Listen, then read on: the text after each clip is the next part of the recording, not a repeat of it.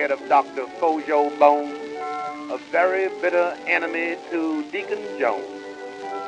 Tuesday evening, Deacon Jones took sick, and it seems he had to send for Dr. Fojo quick. On the deacon's face was a distressful frown. Indigestion had wore him down. The doctor says, Oh, it's you I have to cure. Well, here's what I'll prescribe to fix you show. Some green cucumbers, some stewed tripe rare, roast pork, cantaloupe, and bevo beer. Half a dozen crabs, two lobsters broiled, bananas and fish. But let the fish be spoiled. Uh, cold storage chicken and hot corn bread. Now, I think that will be a scientific cure. And if you eat everything, brother, that I'm telling you to eat, you'll never need a doctor no more.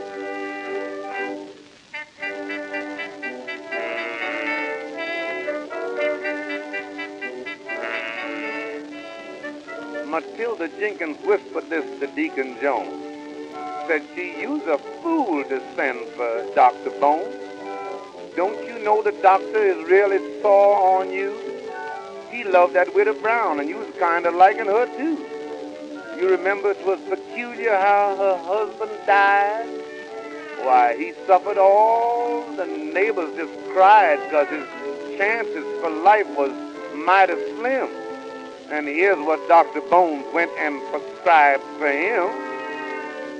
A watermelon and peach ice cream, sour milk, applesauce, and spinach greens, pudding, prunes, and rice, a half-cooked shad, a dozen eggs, and had all of them bad, some corned beef and cabbage, some lima beans. Now, now, now, now, wasn't that an awful cure? Mercy. Brother Brown went and ate everything that was told him to eat. Now, he'll never need a doctor no more.